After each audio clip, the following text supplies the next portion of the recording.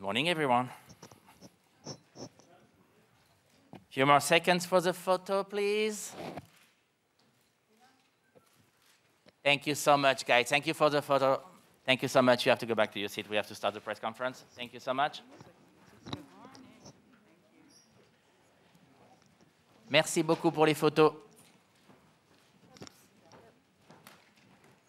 If you want to wear the uh, Festival de Cannes mask, you're more than welcome to do so. Thank you.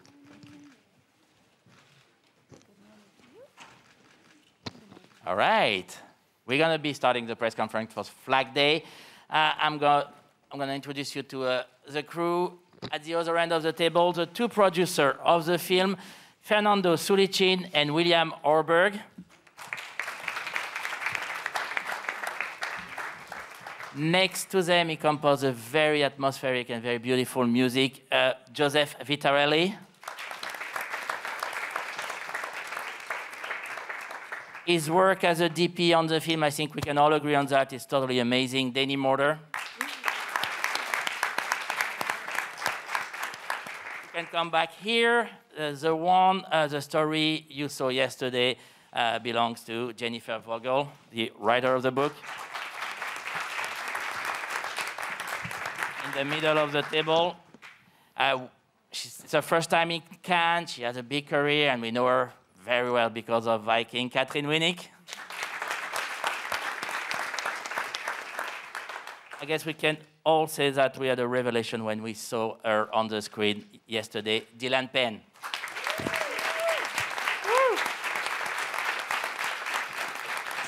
and uh, well, let's just say that Cannes is kind of his home, Monsieur Sean Penn.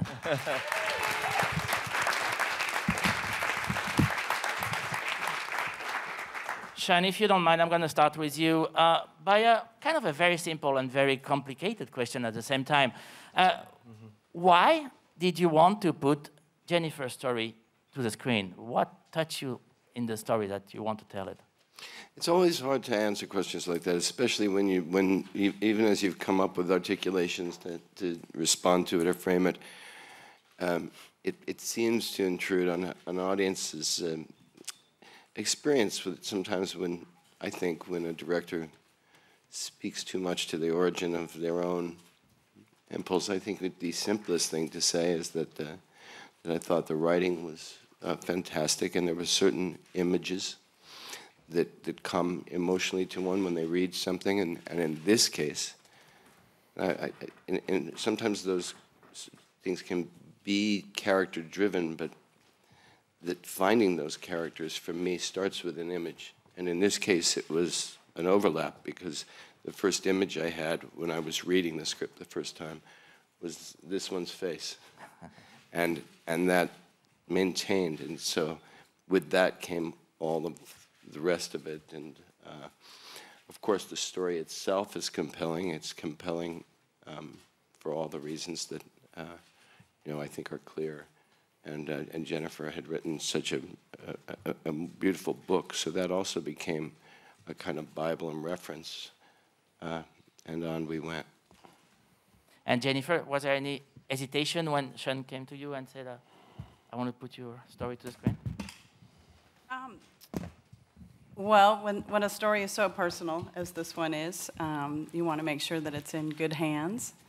Um, so, you know, there's always sort of the tug and pull there as the subject. You know, you, you worry about um, how things will be represented or, um, you know, that the director is going to care for the characters and care really for your family and for you. Um, as a writer, I was very interested in seeing what new art could be made um, from my story, from my memoir. Um, and so it was irresistible, really, um, to go ahead with this and and Sean has such a strong affinity for the underdog, um, and there are many underdogs in my story. So I knew that he would do a good job. And then, of course, when Dylan was cast, um, you know, as it's clear, I'm sure to all of you, um, these guys have a great relationship, and Dylan, Sean loves Dylan, and so I knew that he would love my character as well. So I felt pretty good about it. Dylan, uh, I wonder what reaction, reaction was when your dad asked you to, to play the role? I mean, what he's asking you to do is at the same time very beautiful and very challenging.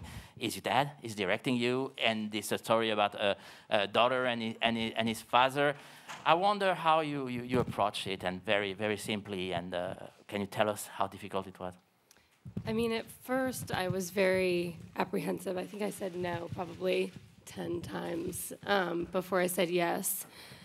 Um, I think, you know, I read this book when I was 15, and then coming back to it at almost 30 was almost like reading uh, like my own diary. Um, like I felt like I had a lot of parallels to the story, and I felt like I could reference my own experiences and bring something to this character. And then especially after meeting Jennifer, and um, I think the most amazing thing that Jennifer gave me was she told me that she didn't want anyone to mimic her. She didn't need me to copy her character. Just, um, you know, wanted the story to be told, and I think the script did that in a beautiful way.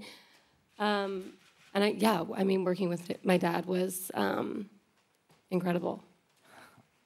Katheryn, uh, the family scenes in the film are incredibly powerful and incredibly strong and very difficult to watch sometimes.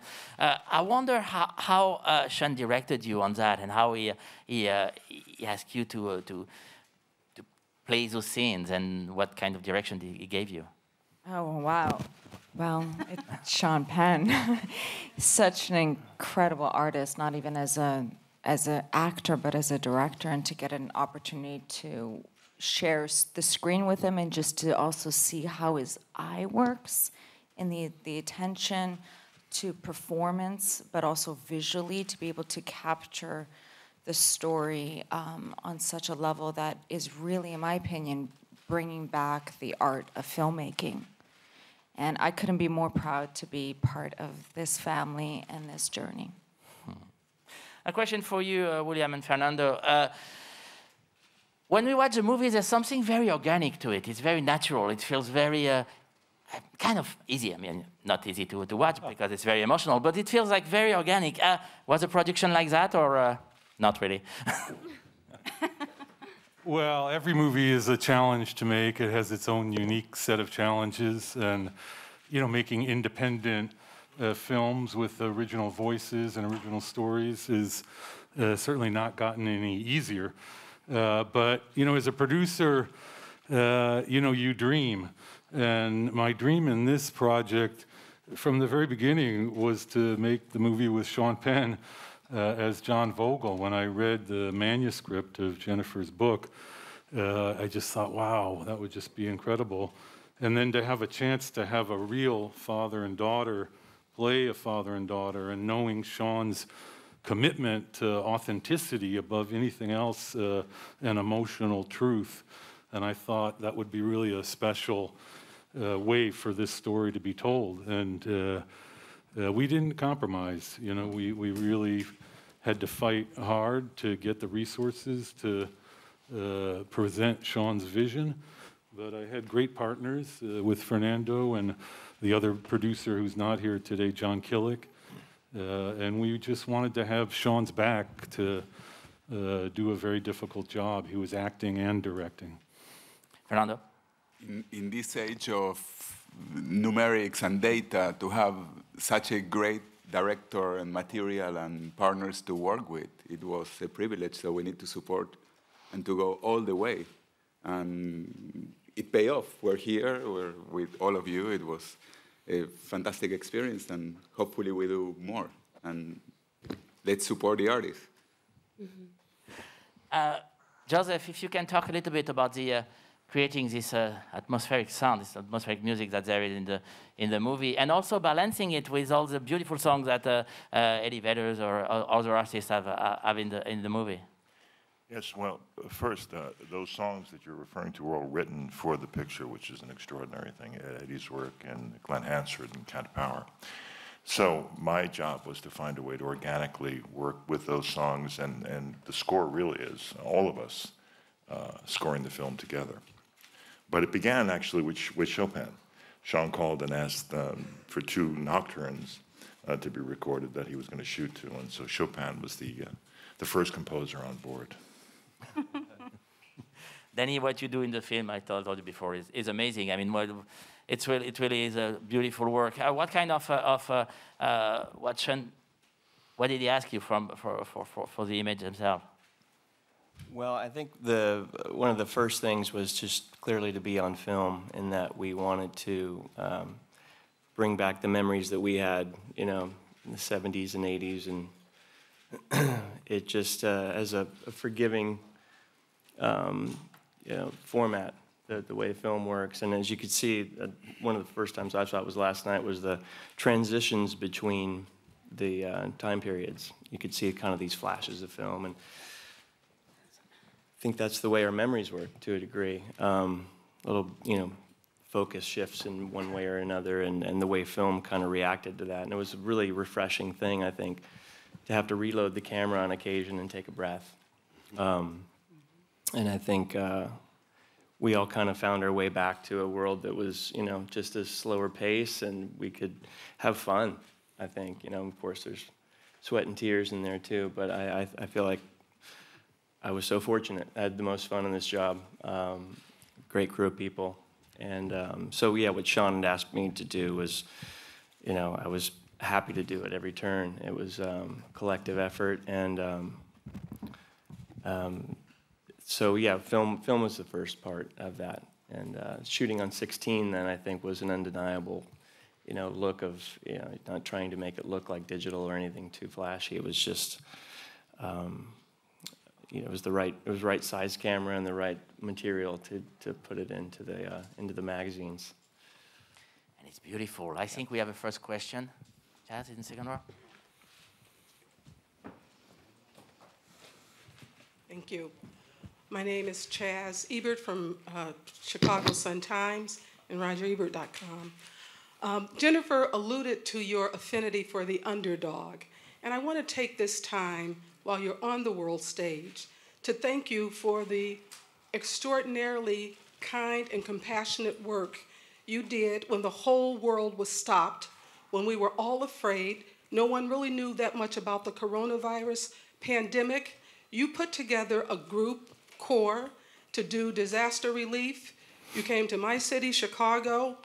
You organized testing for poor people all over the city even before the local government did, and you worked with them. The mayor congratulated you. You put together the largest testing system in Los Angeles. And you did this at a time when people were just, it was in chaos. People did not know what to do or where to go. So I just have to thank you for, you also fed people when they came for testing because you went to areas where there were food deserts where people couldn't even get food during the pandemic. Everything was shut down. So I do have to thank you for your extraordinary acts of kindness and empathy and compassion.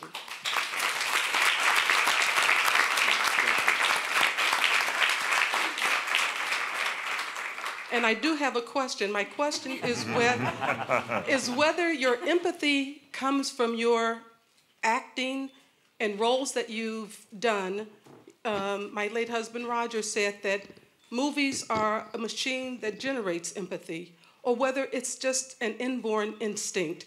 Where does it come from for you? I think probably most of us um, have our fair share of experiences recognizing when we're not accessing our empathy. And so as time goes on and the, and the opportunity that one has creatively in, to express, one's usually looking for that they aspire to the most and, and, and often connect with.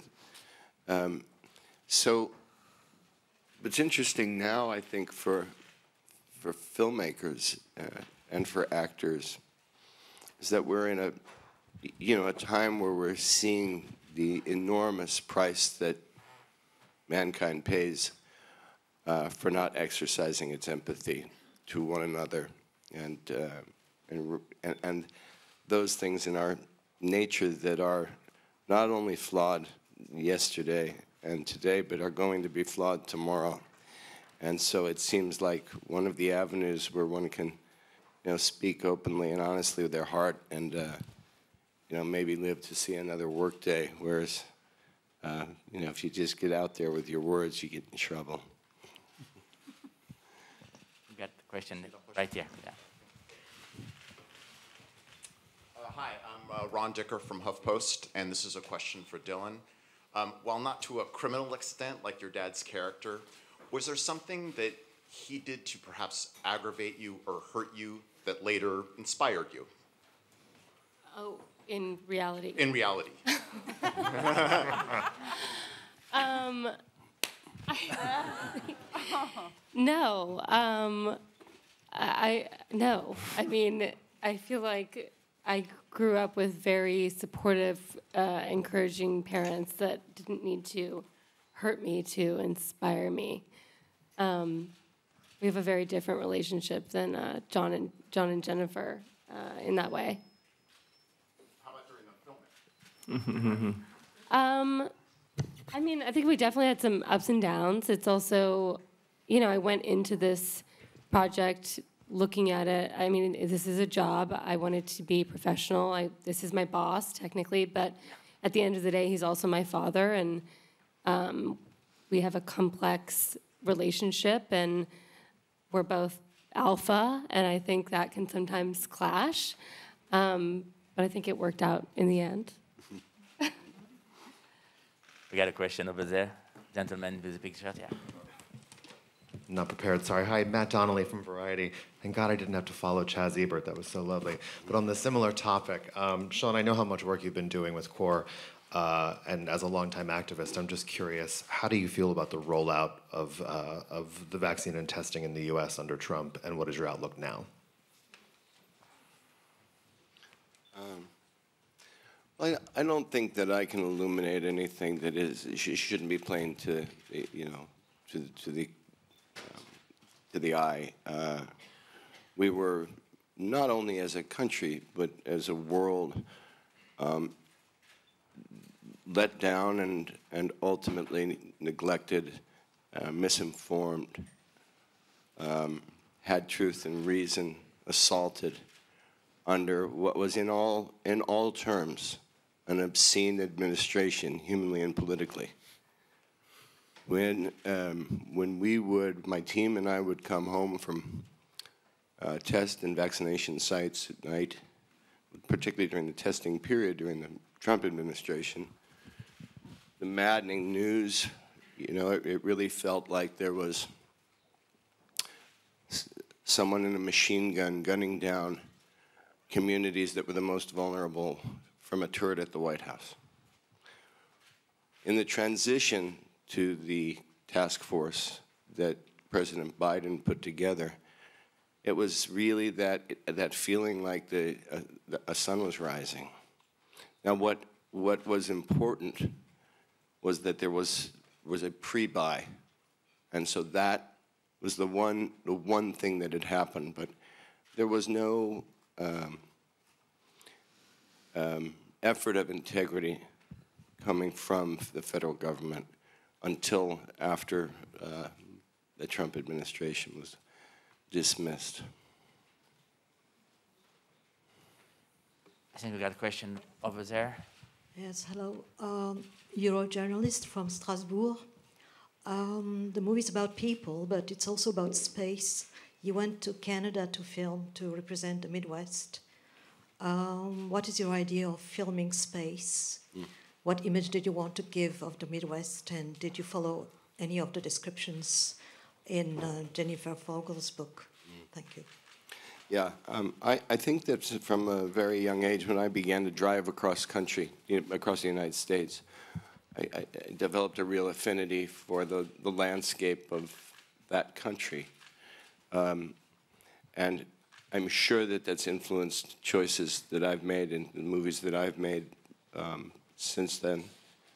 Um, but when with this story, initially, in, in part because of the resources, uh, the limitation on resources that we, we would likely have uh, to, to make a story like this today, uh, I very much, and I had said earlier that the key image was Dylan's face as Jennifer.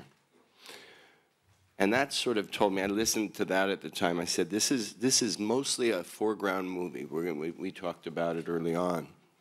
That, that that's going to be the key. And when we can open it up, we will. But our focus is going to be on the foreground, on the faces of these actors, of these characters. But of course, when then uh, using um, Winnipeg for, uh, for Minneapolis, because frankly, it looks more like Minneapolis in the 70s there now than, than Minneapolis does. Uh, you, you know, it offers it, it offered its own uh, spaces. And then there was a lot of times, you know, the, the, Danny and I would, we might be driving back from a location, see something that was, that opened up our story in a way and come back and shoot there. We, we were, we were um, short on preparation. Uh, this is a movie that got made with a lot of once we once we started shooting, and of course after after shooting, but we had we, our, you know while we all fought to get the the resources we needed to make the movie. Part of this was having to kind of have, take a leap of faith with the environment we were in.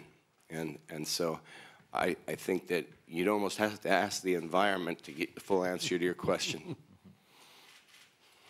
You got a question over there? Oui, bonjour. C'est une question pour. Je ne peux pas. Je suis ah, pardon. Excusez-moi. Excusez-moi. Je ne peux pas plus. C'est une question pour uh, Sean This is a question for Sean and Eddie. Dylan, euh, in your own in your own family, Sean and Dylan, what is the role of education, and what do you think of classical music? The question was about. Sorry, I missed a lot of. What is the role of education in my own family? What, right, and what is the role of uh, classical music? Uh, there wasn't a lot of, of uh, uh, high education in, in my in the, my generation of my family, my my, my brothers and I. Uh, we had. Um, can take that off now, I suppose. Uh, I wasn't very was not studious myself, and then when my children, when Dylan and her brother Hopper, uh, went to school, it, uh, they they had completely different attacks on it. She was quite studious. Um, but I think there was a big emphasis ultimately, I think, with each of us in our ways on, on what had become self-education. I mean, I started to pay attention to, or to my own curiosities uh, after I was out of formal schooling. Um, and, and, as for my relationship with the classical music, uh, I don't have a, a, a, big background in classical music. I have uh, a great uh, appreciation for the beauty of it. But, but interestingly, uh, my childhood best friend uh, has a, a, deep relationship with classical music, and he, he ends up being uh, Mr. Vitarelli here, who's a composer. So he was my classical guide. Ilan, you wanted to add something? No? I got a question over there on the other side of the room. Hi, this is Marc Garriga from Catalonia Radio in Barcelona. This is a question for Mr. Penn. Uh, you said that uh, you immediately uh, saw Dylan as Jennifer when you read the book. Uh, when did you see yourself as John? And I know that uh, Dylan has just said no, but did you see, did you saw any similarity between uh, Jennifer and her father's relationship and you and your daughters? I'll start at the end of that question because I think you can you're going to find similarities, uh, you know, that are not in any way direct connections. Uh, but yes, I mean, emotionally, certainly you find similarities, misunderstandings, miscommunications, all those things that you know that, that are inevitable in, in any intimate familial relationship as far as myself seeing myself playing the role, that was not on in the cards initially. I, I in, in part because I had adopted a sort of religion of, of clarity that I never wanted to uh, do a second job when I had a first job of directing, uh, and, and, and, and to act and direct was not appealing to me. In this case, uh, over time, as uh, with a lot of nudging from producers who thought it might be a, worth considering uh, for me to consider doing it. Um, and there became a point of necessity to make a decision who was going to play this part. And I remember that the last uh, effort I made to, to, to not play it was uh, when I sent the script about a month and a half before shooting started to Matt Damon, who was generous enough to give it a very quick read and call me, not to say that he can do it, not to say that he can't do it, but to say that I was a stupid schmuck not to do it, to take this opportunity to act with my daughter in this thing. So that was kind of the last straw. And then, you know, once once once I decided to do that, I did. Uh, there was a big burden off me because whenever you're directing actors, there's a certain emotional politic you're dealing with. You know, even if it's in how many takes you do on one person, and then you turn around to come on the other, and maybe you're just satisfied over here and not over, but you kind of have to make everybody feel equally cared for. I didn't have to waste time with one of the principals in the piece, and that was the case, you know, with the other actors as well. It was just easy to sort of say to myself, okay, I got what I need of my stuff. Let's focus it here now. And that's taking one complicated personality out of the mix, which is, you know, not bad, not a bad option. Yes, we got a question over there. Hello, I'm Galia from Chile. I wanted to ask you about one of the top one of sorry one of the topics of the film that is truth is talking tr- truth between a daughter and the father, father daughter, and also what became this uh, leitmotif that turns her into a journalist to tell the truth. So, how did you depict this topic in the film? Yeah. Um, it, it, it, I, I, how did I think just the way that it happens in life. You know, that there's, there's the, the, the key thing in this film for me about deception and about a, a, a, search for truthfulness, which is could be a black and white description of two of the characters, is that I had again. This goes back to Dylan's face when because she is an actress. I find her completely uncontrived, which is lack of contrivance is about as beautiful a thing to put in front of a camera as there is. And just as specifically, watching somebody listen, whether they're buying what they're hearing, they're not, or they're confused at it, when you have a, an, an actor, as it turns out she is, where you can put the camera on her listening, and that tells you the whole world of truth and deception uh, in, in her reactions to, you know, in particular, the relationship with her father, to the things he does and says. So I think what, I, what, it, what the film ends up relying on, certainly there was that which was provided by the story itself, the screenplay itself, but I think my cinematic reliance was on Dylan's face to tell that story. The lady in the second row, please. Hello, my name is Sara Ricordati. I'm from Italy, magazine Gente. The question is for Sean Penn. Um, uh, the, the, movie shows very much exactly how much you love your daughter by all these close ups on her face. And I was also wondering um, if it also tells a bit about maybe you being an absent father or not because of your career, maybe? this would be the assumption but what I would have you do is go on to IMDb and check the months of the jobs I took during her childhood. This is uh, this is this has been a conversation we've had in, in the past.